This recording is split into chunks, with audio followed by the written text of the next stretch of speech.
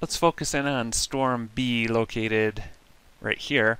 And in the radar reflectivity, you can see a fairly rapid increase to the reflectivity. It gets up to upper 60s dBz by 2025 UTC. In terms of the velocity signature, at least at half degree, nothing really sticks out with storm B.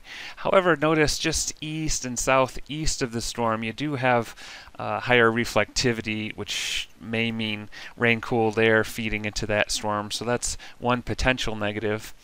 In the visible imagery, notice that we have considerable anvil cirrus coming up from the southwest from this other storm, obscuring this storm, so we're unable to view any storm scale signatures, which we may expect to see on the south or southeast flank of that storm.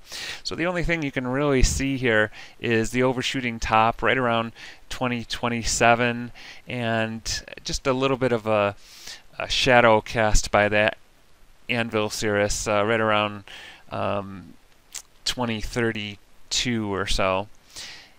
Over here in the IR imagery, we can see the overshooting top and the brightness temperatures get down to about minus 69 degrees Celsius. Also keep in mind uh, that the trends and the increased reflectivity uh, corresponds pretty well to the lightning trends where we saw those increasing with the storm as well.